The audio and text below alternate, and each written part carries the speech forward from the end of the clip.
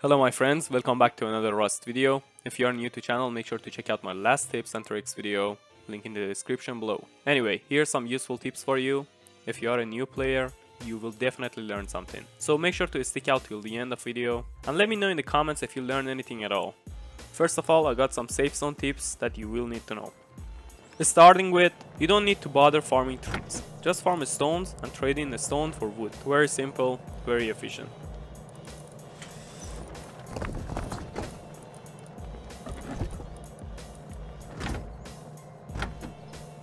If you have some scraps to spare, you can buy tactical gloves at outposts and recycle them for a good amount of cloth. You will get 100 cloth per glove. In my opinion, it's a really good way for some fast cloth.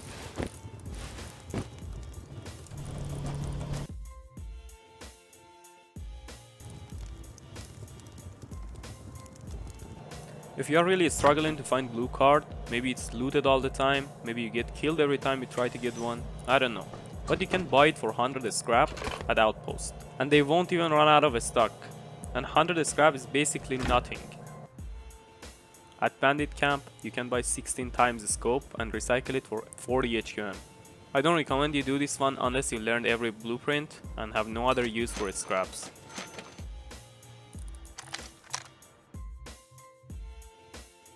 Move up to the next, I have some general tips that all of you guys should know. Starting with stack splitting. You can use the bar under each item for splitting them, or hold down middle mouse button and drag for splitting them in half. But what if you need one third split for ores in furnace for example? This time, just hold down shift button and split once, then split the bigger stack in half for exact one third split. That's it. You can fit up 3 furnaces on one triangle foundation. This is a really good one when you live in a small base and you can use every single bit of space. Did you know that you can use shovel to attack or farm signposts at safe zone? And they are really cheap to craft as well. Farm signposts for metal pipe and road signs. As you can see in the footage, you cannot hit the ground with a hammer. This is a very useful tip if you are looking to find someone's stash once the hammer hit the ground, it means there is a stash there. Use this trick so you don't have to search the area for like solid 30 minutes. And bingo, there is the stash I was talking about. Easy peasy. Use a mixing table to cook your gunpowder. This will save you a bunch of charcoal in the long run, since crafting gunpowder in a mixing table is 10 charcoal less than crafting it like normally. If you are in desert and really in need of cloth, hit cactuses. This will work exactly like hemps if you hit them with a metal hatchet. Small cactuses will give you 5 and large ones will give you 10 cloth max. Maybe your server is too populated or you find it really hard to farm road or monument for scraps. Just find yourself a boat or buy one at the fishing village and then try farming sea. In this footage I'm on a modded server, so don't get me wrong, but you will still get some decent amount of compo out of it. Carrying a large medkit is usually a good idea, since you can always revive yourself if you get downed, as long as you don't get down from a fall damage.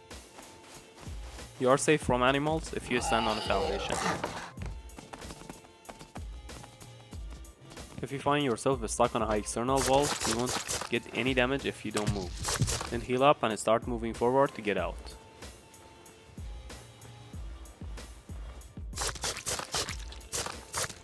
Never jump in between two external walls, since you will take twice the damage and die twice as fast.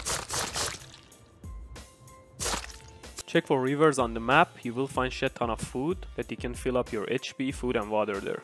Pumpkins are by far the best food source in the game, so you can hold on to the seeds and place them near your base as well. Okay, here we are at PvP tips, they are pretty game changing and will help you win more fights. You can use this command to see gunstock, however it doesn't affect aiming or shooting in any way. Check out the description for the code.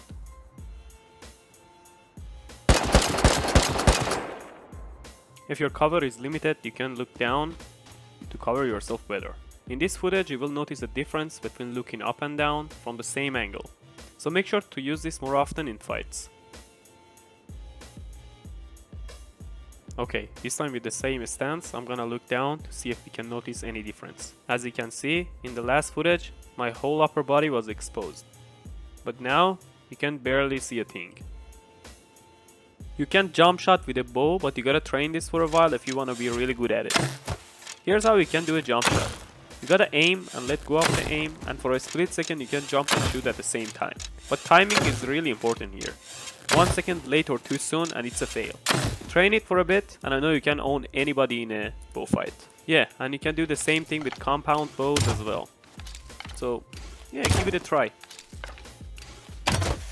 If you stepped on a landmine by any chance, don't move. You can't do anything else, but if you have a body around, they can disarm a trap with a hammer and you will be safe. You can place wooden walls and stone walls that you can use as your cover in open fields. So it's a good idea to carry one or two while roaming around. Just make sure you are not close to building block, road or any monuments, since you can't place them there. With Rust's new update, standing and shooting is no longer an option.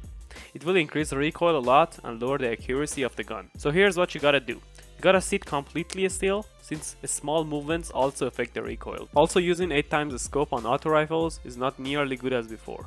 So best mods that you can use are holo and laser sight. Wearing a tactical gloves will help you to get that max amount accuracy.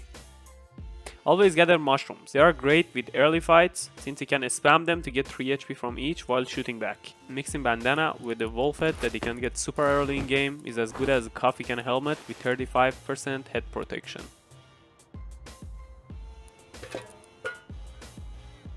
Rust Labs is a great site that will give you all the information you will ever need about items.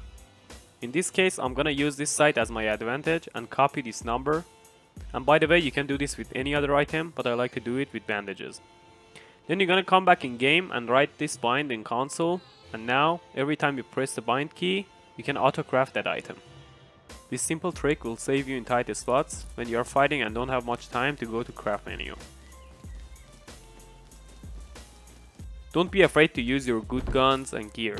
After all, it's just a game and you will never get good enough if you are always too scared to bring them out and learn how to use them.